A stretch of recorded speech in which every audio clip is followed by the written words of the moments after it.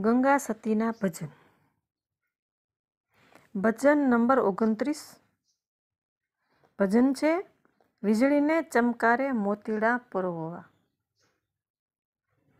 વીજળીને ચમકારે મોતીડા પરોવવું પાનબાઈ. નહીતર અચાનક અંધારા થાશે રે. જોતરે જોતામાં દિવસો વયા ગયા બાઈજી જોને એકવીસ હજાર છસો ને કાળ ખાશે રે. જાણ્યા રે જેવી વસ્તુઓ જાણ છે રે પાનબાઈ. અધૂરિયાની નો કહેવાય રે. ગુપ્ત વસ્તુનો ખેલ છે અટપટોને આટી મેલવતો સમજાય રે. બાઈ રે, નિર્મળ થઈને તમે આવો મેદાનમાં ને જાણી લો જીવ કેરી જાત રે. સજાતી વિજાતીની યુક્તિ બતાવું ને બિંબે પાડી દઉં બીજી ભાત રે. વીજળીને ચમકારે મોતીડા પરો, પાનભાઈ, અચાનક અંધારા થાશે. ભાઈ રે પિંડ રે બ્રહ્માંડથી પર છે ગુરુજી મારા, તેનો રે દેખાડું તમને દેશ રે ગંગા સતી એમ બોલ્યા પાનભાઈ, ત્યાં નહીં માયા, નો લવ લેસ રે વીજળીને ચમકારે મોતીડા પરો, પાનભાઈ, નહીતર અચાનક અંધારા થાશે રે. ભાવારત ગંગા સતી પાનભાઈને ઊંચા સ્તરનો સત્સંગ કરાવે છે અને સાથે સાથે ઉપદેશ આપે છે. એટલે કે ભલામણ કરે છે. બોધે આપે છે અને બોધ કેવી રીતના સ્વીકારવો એ એક ભલામણ કરે છે. જે પોતાના હોય એ વસ્તુ આપે અને એને કેવી રીતના સાચવવી જોઈએ એ બતાવે ત્યારે એને એક ભલામણ કહેવાય કે આ વસ્તુ કેવી છે અને એને કેવી રીતના રાખવી અને એનું જતન કરવું. અને એવી રીતે બોધ આપે છે કે આજ્ઞાકારી શિષ્યને સીધે સીધો સમજાઈ જાય. આવા સત્સંગ માટે આગળના ભજનમાં રસની ઉપમા આપી ને મીઠાશ વધારી છે અને હવેના ભજનમાં વીજળીના ચમકારાટની ઉપમા આપે છે. આ અમૂલ્ય જીવન અને એમાં મળતો સત્સંગ વીજળીના ચમકારા જેવો છે. એટલે ગંગા સતી કહે છે કે વીજળીને ચમકારે મોતીડા પરવો, નહીતર અચાનક અંધારા થાશે. જોત જોતામાં દિવસો વયા ગયા બાઈજી. એકવીસ હજારને છસો કાળ ખાશે. હવેના ભજનમાં ગંગા સતીનું કહેવું છે કે આજનું કામ આજે જ કરવું એ જ ઘડીએ કરી લેવું અને ઝડપી કરવું કાલ કરે સો, આજ કરે આજ કરે સો, અબ. અવસર બીત જાયેગા, ફિર કરેગા કબ. કેટલા જન્મો પછી આ મોઘો મૂલ્ય મનુષ્ય અવતાર મળ્યો છે? મનુષ્ય અવતાર મળવો અતિ દુર્લભ ગયો છે? અને તેમાં વળી ઉચ્ચ કોટીનો સત્સંગ તો અનેક જન્મોના પુણ્ય ભેગા થાય તો જ મળે છે. અને તે ક્યારેક જ મળતો હોય છે. જેવી રીતે કે આખા વર્ષમાં, આખા વર્ષ દરમિયાન ચોમાસામાં ક્યારેક જ વીજળીના ચમકારા થાય છે અને પાછા અંધારા થઈ જાય છે. તો અધ્યાત્મ જીવનને લગતો સત્સંગ ગુરુના મુખમાંથી નીકળતા શબ્દ વચનો જીવનમાં વણી લેવા ક્યારેક જ ઉપલબ્ધ થાય છે. એટલે ગંગા સતી વીજળીના ચમકારાની ઉપમા આપે છે અને વીજળીના ચમકારામાં મોતીડાને પરોવવા માટે કેટલી તૈયારી જોઈએ? એની સમજણ પાકી થવી જોઈએ. એક તો વીજળીનો ચમકારો, એક જ પલનો હોય અને ફરી પાછો ક્યારે થશે એનું કાંઈ નક્કી ન કહી શકાય. માટે અધ્યાત્મનો સાર બતાવતો સત્સંગ જે ઘડીએ મળે, જેવી સ્થિતિમાં મળે, એ જ વખતે ગ્રહણ કરી લેવો. અને જેટલું બને તેટલો ઝડપી વળી, ઝડપી વણી લેવો જીવનમાં પરોવી દેવો. તો ગુરુના એક એક શબ્દો મહાવાક્ય સમાન છે અને સાચા મોતી સમાન અમૂલ્ય હોય છે. તો સદભાગી શિષ્યને જ પ્રાપ્ત થાય છે જો શિષ્યની પૂરી તૈયારી હશે, તો તેનો બેડો પાર થઈ જશે.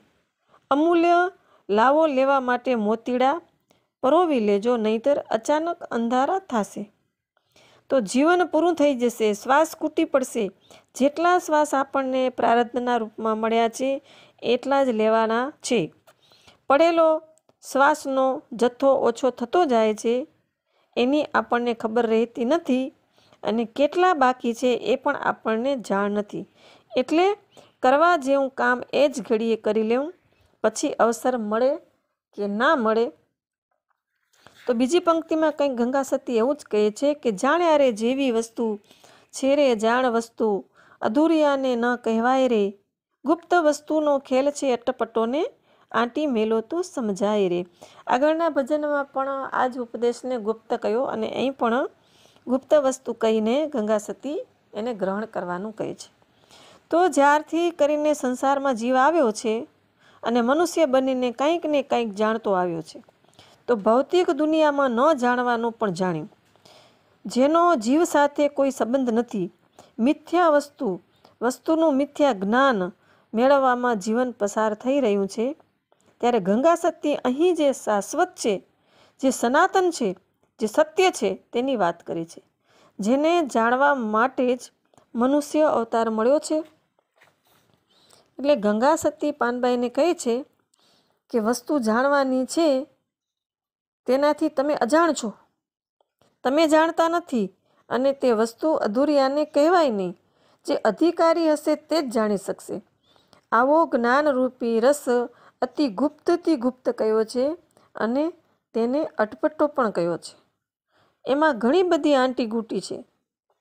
આંટીગૂંટી પણ હોય છે, સીધો બતાવી શકાતો નથી. ઘણું બધું આંટી જેવું લાગે છે.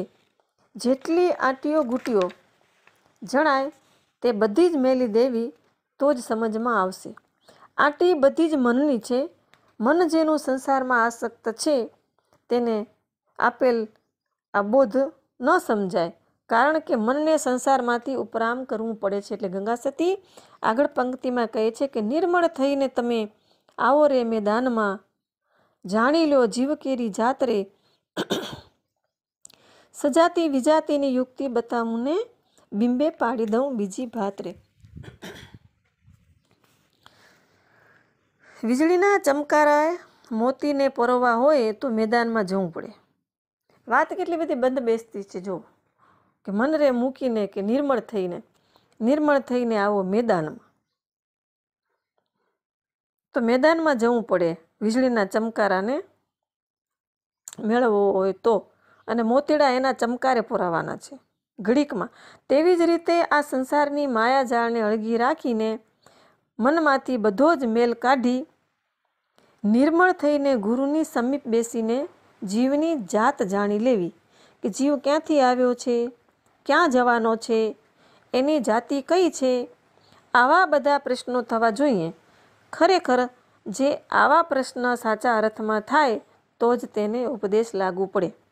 કારણ કે આ ગુપ્ત જ્ઞાન અધિકારી વગર અધૂરિયાને આપવામાં આવતું નથી. અને અહીં પાનબાઈને અધિકારી જાણીને ગંગા સતી બોધ આપે છે અને કહે છે કે, હવે આવો મેદાનમાં. મેદાન એટલે જીવનમાં મળેલો ખુલ્લો અવસર. સત્સંગમાં ગોઠવાયેલા જીવનની ઘડીઓ, જેમાં જીવની રમત ચાલે છે. જીવન મૃત્યુ વચ્ચેનો જે સમય છે, તે એક ખુલ્લું મેદાન છે. તેમાં દરેક જીવ પોતાની ભૂમિકા લઈ પ્રારબ્ધ ભોગવે છે, એ જ રમત છે અને રમત રમે છે. મેદાન હોય ત્યાં વિવિધ પ્રકારની રમત રમાતી હોય છે. આપણે કઈ રમતમાં છીએ એનું ધ્યાન રાખવાનું છે.